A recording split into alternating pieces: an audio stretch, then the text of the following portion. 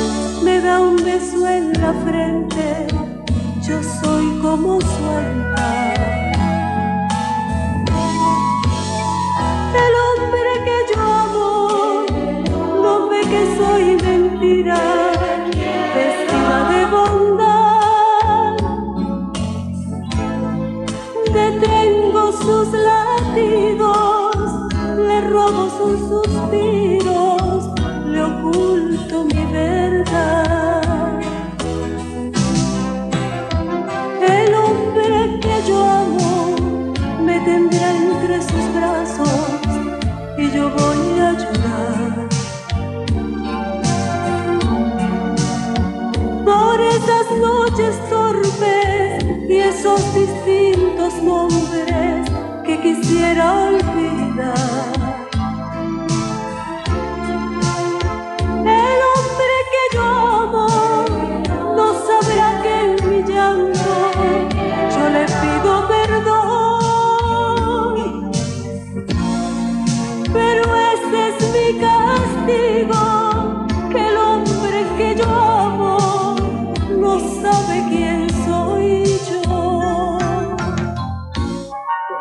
Sabía.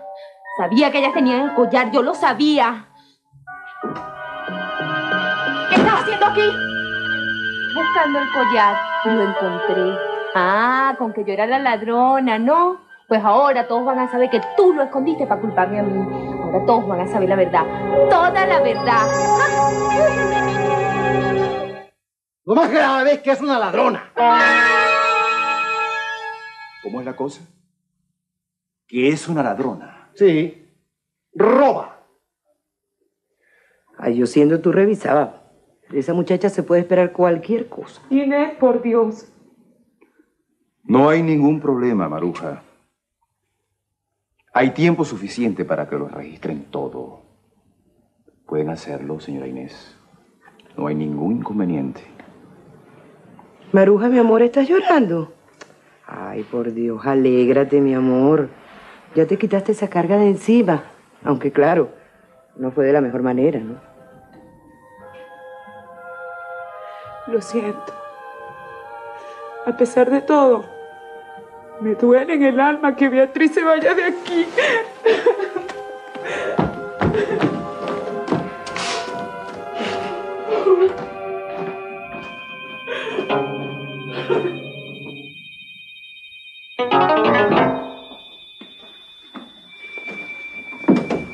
Muchacha?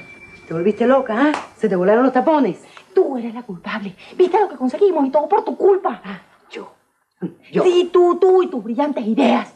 Que eres linda, digo yo ahora, no juegues. No seas malcria, la niña. Estás igualita a la salvaje esa. Ni me la nombres, ni me la menciones. Se fue con Arturo, se fue con mi novio y todo por tu culpa. Ah, no, mi amor, que va bien lejos. A mí no me vas a echar muerto ese. No, que va. Eso no era lo que queríamos los dos. ¿Ah? Que se fuera. Bueno, ahí está, ya se fue. Entonces, ¿cuál es el agite ahora? Yo no lo quiero ni un milímetro de Arturo, ni un milímetro. Bueno, ¿quién tiene la culpa de que el juez se haya tomado todo tan a pecho? Ahí era donde tú tenías que actuar, tía, y no quedarte callada como una gafota allá abajo. Más respeto, Erika, ¿oíste? Más respeto que yo todavía te puedo dar, tú tate quieto. Deja de hablar idioteces, que tengo que pensar ahorita qué es lo que voy a hacer. Tú viste con la carota que me estaba mirando Arturo, ¿verdad? ¿Tú la viste? Bueno, ¿y qué? ¿Y qué? Si se puso bravo, tiene dos trabajos, mi amor, porque de ti no se va a zafar así como así. Compromiso es compromiso, Erika. Tranquila, tranquila, Fierita. Mira, no va a pasar nada. Recuerda que allá está la suegra de Arturo. Y es así que un lince.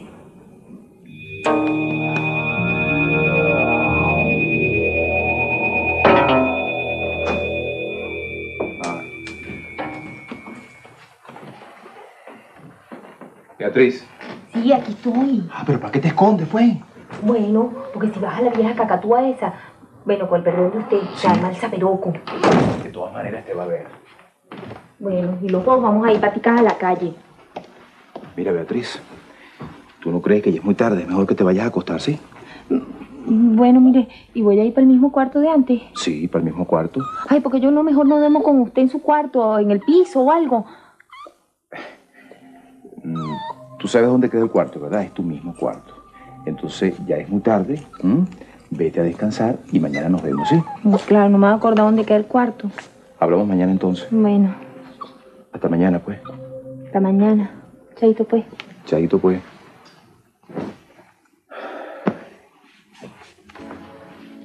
Ay.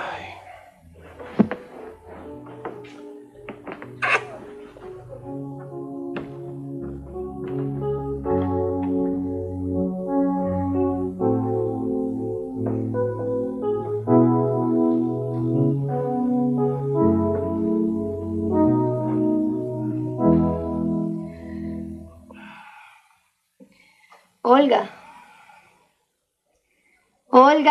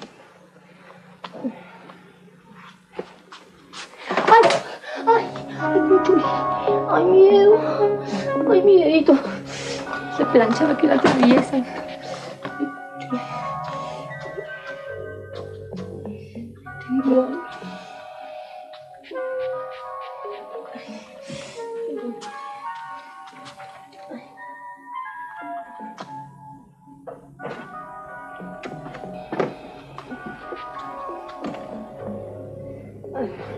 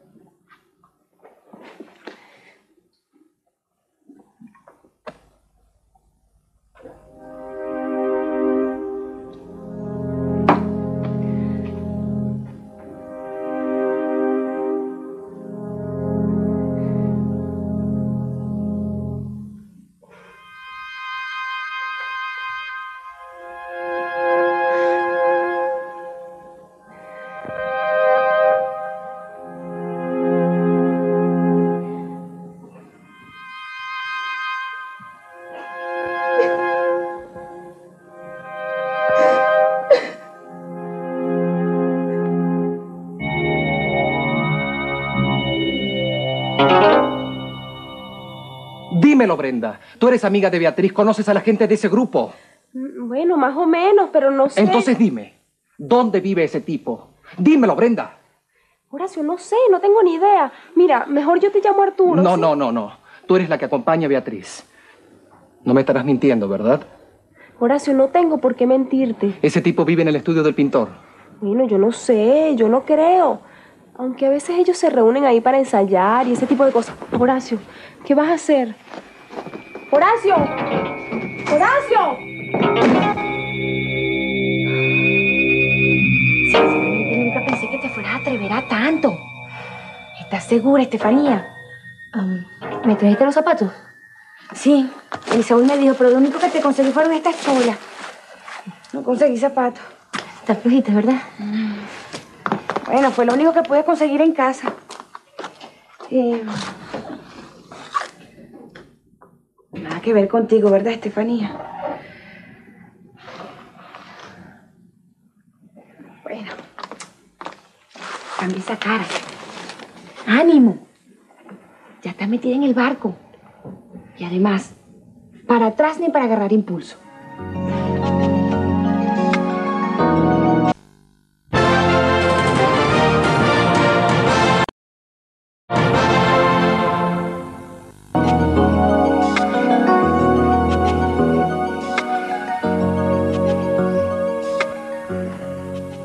¿Ya empezaste? No le tan duro, vale, que me ve la cabeza. Te veo por muy mal camino, Elisaúl. ¿Qué piensas hacer? ¿Con respecto a qué? Mira, no estamos para bromas. Yo lo que quiero es saber qué va a pasar con Estefanía. Que está conmigo, ¿no? ¿Ah, sí? Ella por allá y tú por aquí.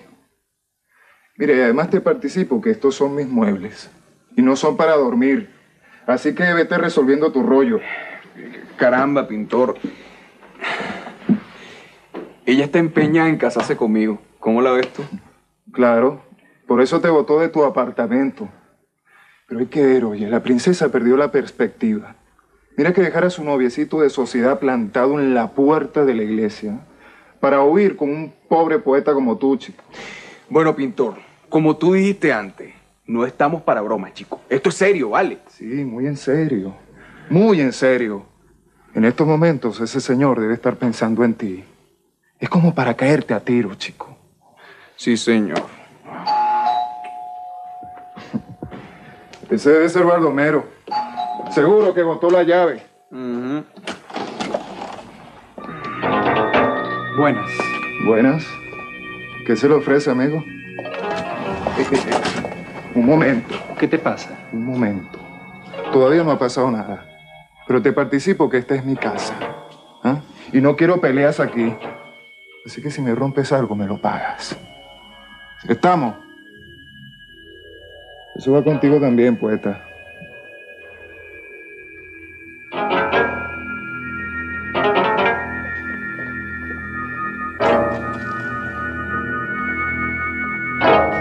¿Dónde está Estefanía?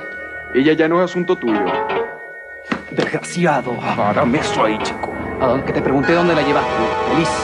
Como verás, en un bolsillo no la tengo. ¿Dónde la llevaste, canalla? ¿Qué pasa, amigo? Estás perdiendo la clase. Cobarde. Mira, aquí una cosa bien clara. Estefanía te dejó. Sin ataduras, sin compromisos. Y es más, yo no veo que tienes que venir tú a reclamar aquí. Vienes con autoridad a reclamar lo que no te pertenece. Óyeme bien, ginecólogo. Nadie es dueño de nadie. Estefanía es mi novia, ¿ok? Era tu novia. Bueno, necesito hablar con ella. Necesito que me explique todo esto. ¿Estamos? ¿Pero qué más quieres? Estefanía te dejó, te abandonó para venirse conmigo. Yo soy su única verdad. Eso es absurdo, ¿sabes? Bueno, por fin, ¿me vas a decir dónde está ella o no? Ok, ok, vamos. Yo mismo te llevo para que tú mismo te convenzas. Pero te advierto una cosa, Estefanía no va a oír tus argumentos. ¿Mm? Ella tomó una decisión, se fue conmigo y no hay marcha atrás. Eso lo veremos. Seguro que salió para el estudio de Ronald, Arturo. ¿Tú crees que pase algo? No sé, Brenda, no sé, pero definitivamente Horacio no ha debido ir para esa casa. Además, él no está seguro si Estefanía está allá. Pero bueno, ¿por qué no me dijiste que él estuvo hoy aquí? Bueno, él no quiso. Ay, chico, ¿tú te imaginas que consigan la dirección del poeta? Ay, la que se va a armar. ¿Cuántos problemas, Dios mío? ¿Cuántos problemas? Primero lo de Horacio y ahora lo de Beatriz. ¿Qué pasa con Beatriz? Beatriz está aquí. ¿Qué? ¿Cómo es la cosa? Sí, sí, Brenda, sí, tuvo problemas en casa de los Castañeda y me la traje. Ay, ¿y ahora para dónde te la vas a llevar? ¿Cómo que para dónde me la voy a llevar, Brenda? Ya se queda viviendo en esta casa. Ay, Arturo, ahora sí es verdad que nos empaquetamos, chico. No, Brenda, por favor, entiéndelo. Beatriz no tiene a dónde vivir. Ella no puede regresar a la consejería. Entonces, yo tampoco voy a permitir que regrese a ese grupo. No puedo permitir que siga en esa inseguridad. Entonces, duélale a quien le duela, se queda viviendo en esta casa. Ajá. ¿Y Ofelia? Le guste o no le guste, va a tener que aceptarlo. Esta es mi casa y las decisiones las tomo yo.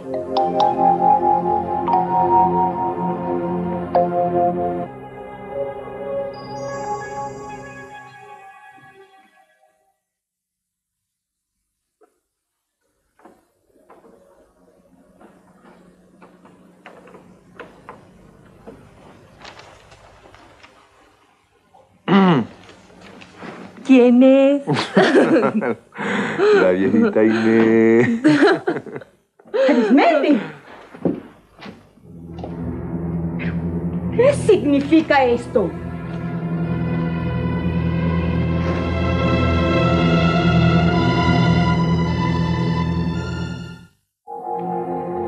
Bueno, aquí estoy, neneta. Ahora mi vida es otra. Esta la escogí. Y nadie la va a cambiar. Es que todavía lo veo y no lo creo. Cambiaste tu anillo de oro por uno de fantasía. Ay, Estefanía, ¿tú crees que eso resulte? Ay, neneta, tengo hambre. No he tomado ni siquiera jugo de naranja. Estefanía. Seguro que sea el Saúl. Ojalá ya te deba desayunar. Me estoy muriendo de hambre. Hola. Estefanía, ¿Qué es esto, Elisaúl? ¿Por qué vale? ¿Por qué? Este tipo quiere hablar contigo. Bueno, yo, yo me iba. Chao. Permiso. Bueno, viniste a hablar, ¿no? Habla, pues. ¿Por qué me haces esto? ¿Para qué viniste, Horacio? Todo se terminó. Vete. Solo quiero saber una cosa, Estefanía. ¿Ustedes viven juntos? Dímelo. ¿Están viviendo juntos?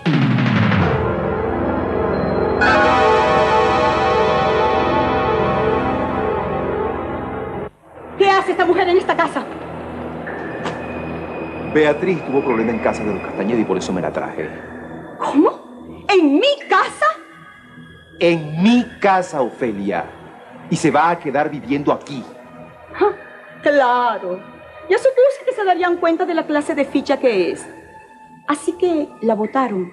Y no habrá sido por santa, ¿verdad? No, no la votaron, Ofelia. Yo me la traje. Porque como no tuvieron paciencia con ella, no supieron comprenderla, por eso me la traje. Ay, claro. Y usted tan solícito como siempre con la gente de la calle, tuvo el tupé de traerla aquí a dormir en esta casa. Pues ve y recoge tus cosas y te largas de inmediato. Pues no, Ofelia. Ella no va a recoger sus cosas. Beatriz se queda viviendo aquí en esta casa. Pues no, no se va a quedar. Ya una vez convirtió esta casa en un infierno. Yo no la quiero aquí. Lamento contradecirla, Ofelia, pero ella se va a quedar aquí en esta casa viviendo. Es mi última palabra. Pues yo no voy a vivir bajo el mismo techo de una andrajosa. Pues si no puede convivir con ella, entonces márchese. ¿Cómo se atreve a proponerme tal cosa? Tan solo para defender a una... Una muchacha decente. Carente de afecto y de comprensión. Y déjeme decirle que yo asumo su responsabilidad. Pues no se va a quedar aquí como parte de la familia. Si usted insiste, se quedará como parte de la servidumbre. Que se gane el sustento.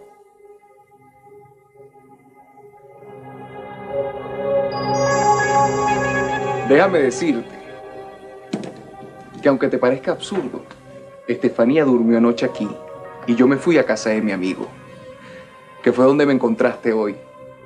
¿No es eso lo que quería saber? Es una locura, Estefanía. Lo que estás haciendo es terrible. nos está causando un gran dolor a mí y a tus padres. Todavía puedes rectificar. Tu error no es irreversible. Todavía tienes tiempo. Estás a tiempo. Vente conmigo. No, Aunque no nos casemos. Aunque no haya nada entre nosotros. Pero por favor, Estefanía, déjame que te lleve a tu casa, a tu vida, a tus cosas. a todo de lo que he huido, Horacio. ¿Pero por qué, Estefanía? Yo no entiendo. Una mujer que Está tiene- hastiada. ¿Cuántas veces quieres que lo repita? Cansada, aburrida de recibir todo por toneladas. No quiero que me den nada. Quiero vivir mi vida. ¿Qué vida? ¿Qué vida? Esta.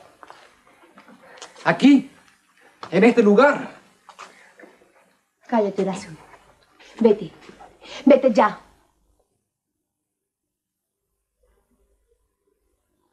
No estoy dispuesto a aceptarlo, Felia. Beatriz se queda viviendo en esta casa como parte de la familia y no como una criada. Pues no estoy dispuesta a aceptar eso. ¿Quién es ella para merecer que la mantengan, que se lo den todo? Pues si se queda, que se lo gane trabajando. Ofelia, por favor, entienda que no... No importa, doctor, de verdad. Mire, sé que limpiar, yo limpio. A mí no me importa pasar coleto y tener que limpiar baños, de verdad. Beatriz, por favor, sube a tu cuarto que yo esto lo arreglo con Ofelia. Bueno, mire, ya yo le dije, yo me quiero quedar. Y bueno, y sé que limpiar, yo limpio. Además, yo sé limpiar muy bien. Y si la señora quiere que yo limpie, yo limpio, de verdadita, pues. Por favor, una vez más, sube a tu cuarto.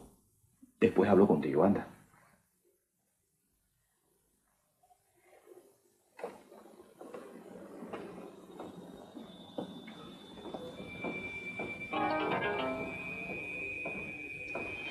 Puede ser tan insensible, Ofelia? ¿Qué derecho le da a humillar a esa muchacha así de esa manera? El derecho que me da mi posición en esta casa. Posición que usted misma se ha asignado, Ofelia, y que yo no estoy dispuesto a consentirlo. Yo voy a ayudar a Beatriz, pero no acepto ni una sola humillación. Ya lo sabe.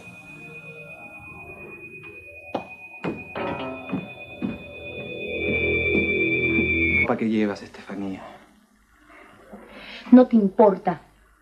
Me visto como me da la gana. Y hago lo que me da la gana. Hasta los modales has cambiado. Se ve que te estás adaptando rápidamente. Vete, Horacio. Vete ya. Y no me molestes más. No hay nada que hacer. No. Di un paso y no doy marcha atrás.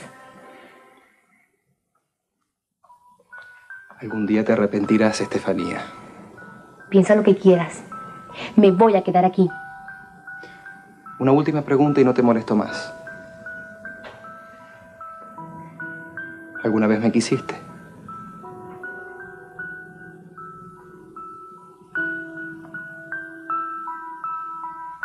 Búscame.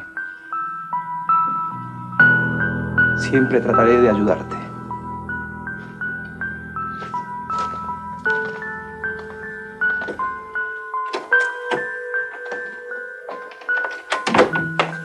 ¿Por qué lo trajiste?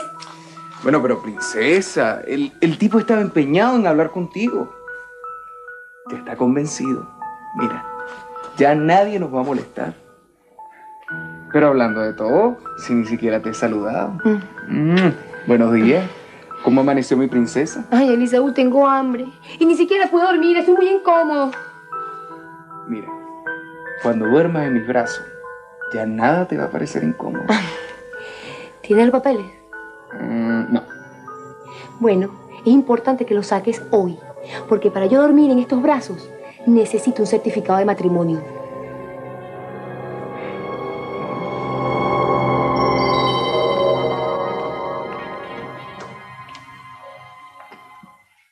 Mire, quiero hablar con usted. ¿Puedo? ¿Qué quieres?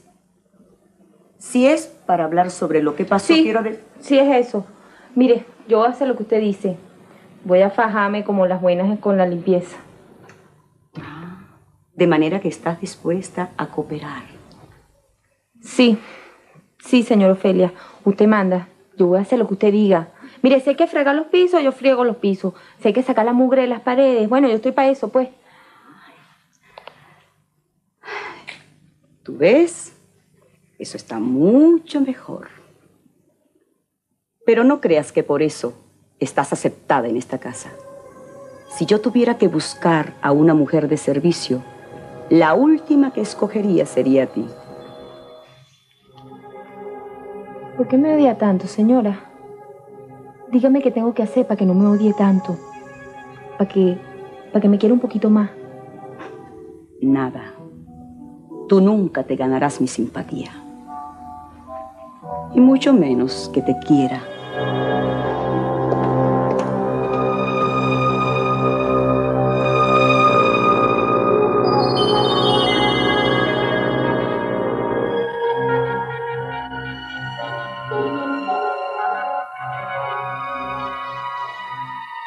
Hubiera preferido que se quedara aquí.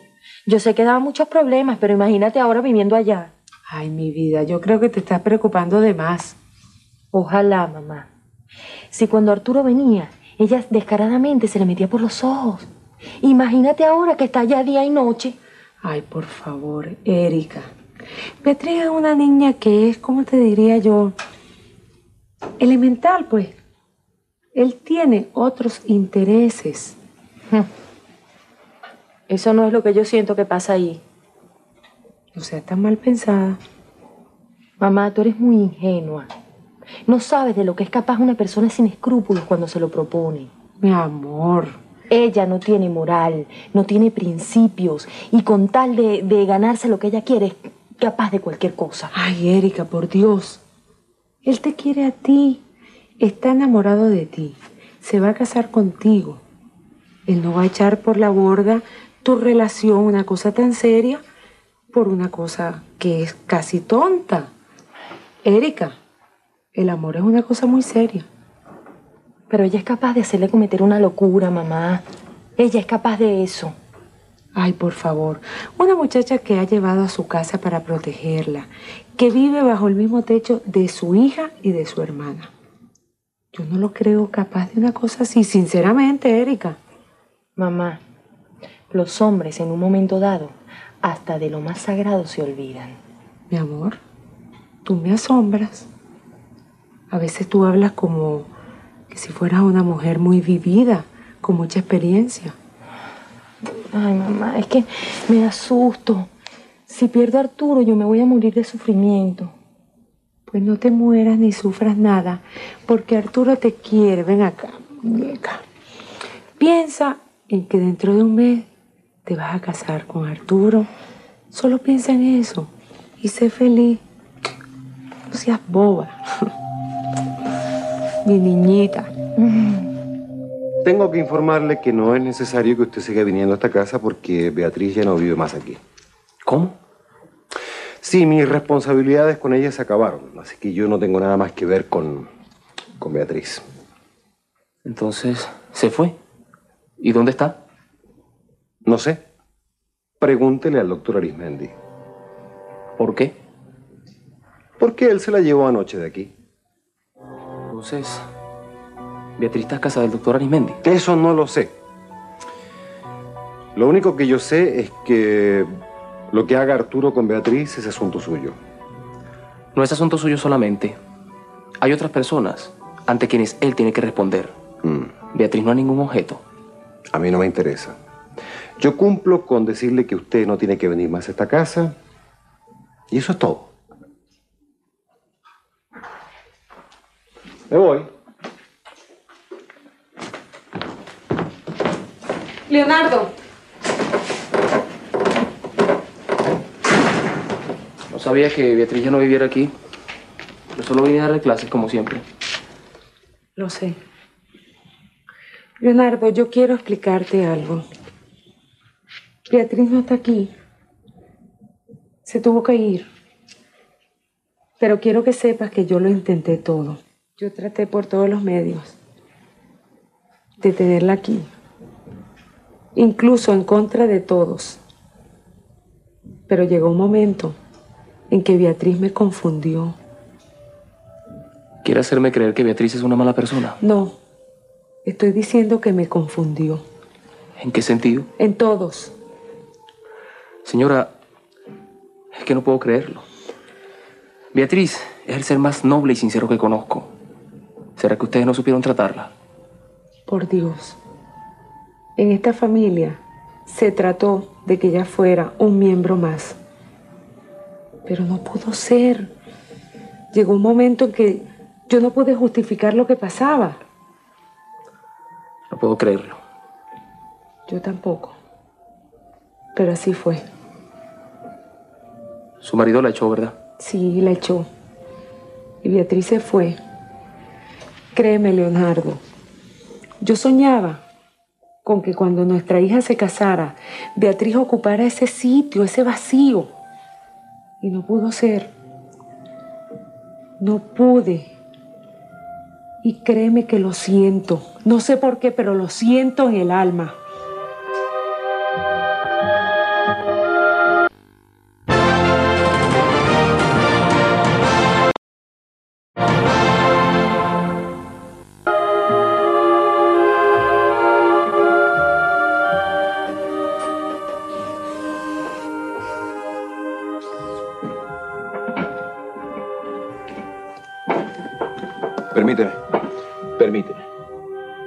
Beatriz, yo hablé muy claro con Ofelia. Tú no tienes ninguna necesidad de estar haciendo esto. Mire, doctor, quiero hacerlo. Yo quiero sentirme útil en esta casa. Ya yo hablé con ella. Yo no quiero ser un estorbo. Sí, pero en esta casa hay gente que se encargue de esto. Están Esperanza y está Coral. Sí, pero por favor, doctor, déjeme hacerlo. Ande, mire, si no va a haber líos en esta casa y usted y la cacatúa esa. ¿Cómo?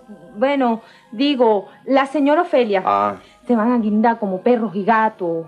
Ande, por favor, déjeme hacerlo. Beatriz, yo siempre he querido darte una familia. He querido que sientas el calor de un hogar. Pero yo no puedo permitir que tú utilices este tipo de cosas, este tipo de actividades para ganarte un lugar en esta casa. Es que yo no tengo a dónde ir. Mire, de la conserjería me botaron. Los castañedas me cerraron las puertas. Ande, deje que yo haga oficios, así no habrá lío. Sí. Ande, como, como una especie de trato, pues. Sí. Está bien. Lo vamos a tomar así entonces como un trato. Pero perdóname por este recibimiento, ¿sí? Perdóname por no ofrecerte lo que te mereces.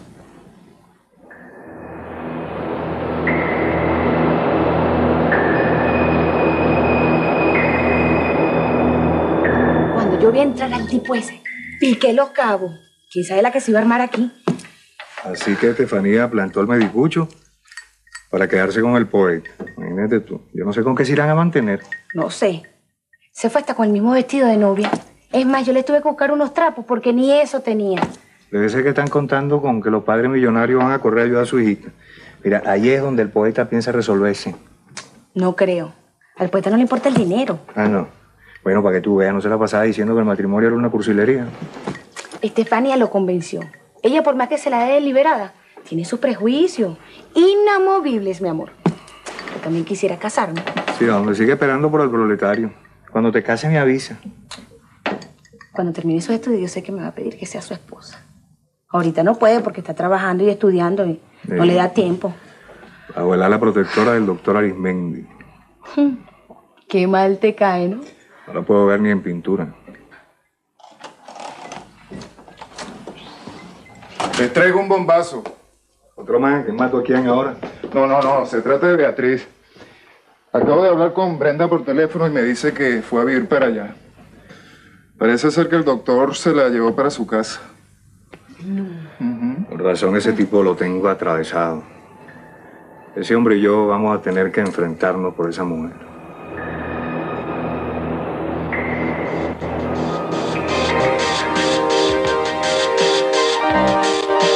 Cómo no, Luis, está bien. Hágala pasar enseguida.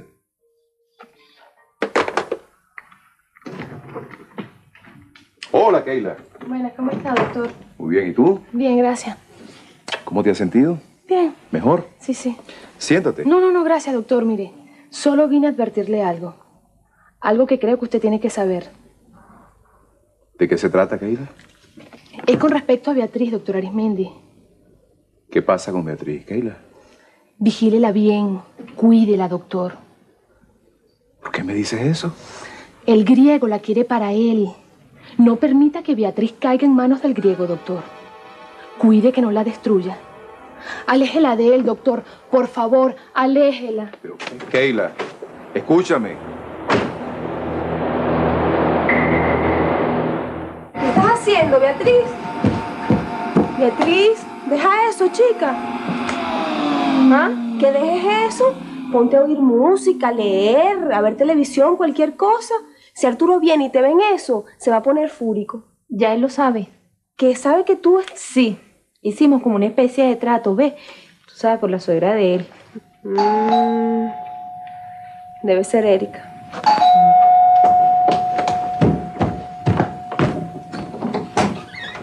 Brendita, ¿estás lista? ¿No me ves? Bueno, cuñadita, quiero que me ayudes a elegir el traje de novia. Bueno, voy a buscar mi cartera y ya regreso.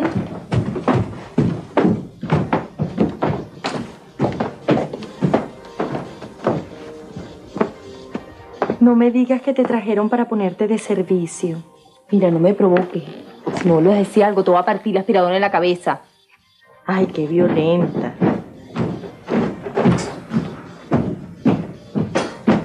Ahora sí estoy lista, Erika.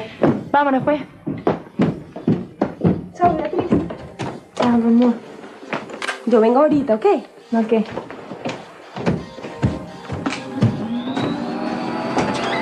Perdón. Buenas. ¿A quién busca? Él es el novio de Beatriz. Bueno, pasa, pasa, sí, está en tu casa. Mírala, ya está. Gracias. Chao. Chao. Hola, Beatriz. Leo. ¿Cómo estás, mi amor? Hola. Vengo de allá. Pero no sabía que estuvieras... Te contaron, ¿no? Apenas el juez me dijo que no estabas. Y la señora Maruja no entró en detalles. ¿Qué pasó? Me votaron, Leo. Sí. Pero solo Dios sabe, mira, que yo quise hacer las cosas bien, que yo quise ser buena. Pero ellos me votaron sin compasión, como si fuera una basura. Ahora yo voy a ser mala, muy mala. No me voy a dejar golpear otra vez. No voy a poner la otra mejilla. Voy a ser mala con ganas. ¿Por qué hablas así, Beatriz? Yo no entiendo. ¿Qué fue lo que te pasó en esa casa? Me hicieron trampa, Leonardo. Y yo caí así, redondita. Ellas arreglaron todo para que el coroto ese se me cayera. Embarraron enano y lo soltaron en la sala para que empatucara los muebles. ¿Y todo para qué? Para culparme a mí. ¿Para qué más? No, bueno, la tía de Erika, la diabla esa, se vestía todas las noches de hombre y se metía en mi cuarto para asustarme, para que yo gritara. No puede ser, Beatriz. ¿Tú tampoco me crees? Es la pura verdad. Mi verdad, aunque no me crean. La Erika, la novia del doctor, la muy mañosa. ¿Sabes lo que hizo? Escondió el collar para que me dieran a mí de ladrona. Yo traté de defenderme, pero fue inútil. El juez. El juez me pegó en la cara. ¿Cómo es la cosa? ¿Se atrevió a pegarte? ¿Qué iba a saber yo, pues, que las tipas esas eran tan malucas? Yo entré en su cuarto y busqué y rebusqué y encontré el collar escondido así en una caja de zapatos. ¿Y entonces? Bueno, ella se puso a dar gritos como locas y ¡zas! Quedé yo como la ladrona. Me hundieron, Leo. Me aplastaron. Parece mentira. La novia del doctor Arismendi. Esa, esa es la más diabla de todas, pues. Más diabla que la tía. Sabes, Beatriz, está muy claro que te querían sacar de esa casa. ¿Pero por qué? Yo qué voy a saber. Eso mismo me lo pregunto yo. Pero bueno, ya el motivo no importa. Me botaron como un perro. Yo que iba con toda mi ilusión, así, para encontrar una familia, un hogar, pues. Yo tenía toda mi alegría.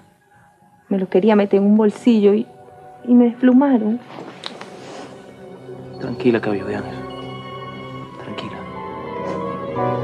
Yo me quería ganar al juez. ¿Tú te acuerdas el día ese que tú fuiste a la casa y yo estaba poniéndole un cojincito y le encaramé las patas así en un cojinzote grande? Bueno, y mira con lo que me salió. La que me duele es la señora Maruja. Ella sí me duele haberla dejado. hubiera querido que fuera mi mamá, aunque fuera así de mentirita, pues.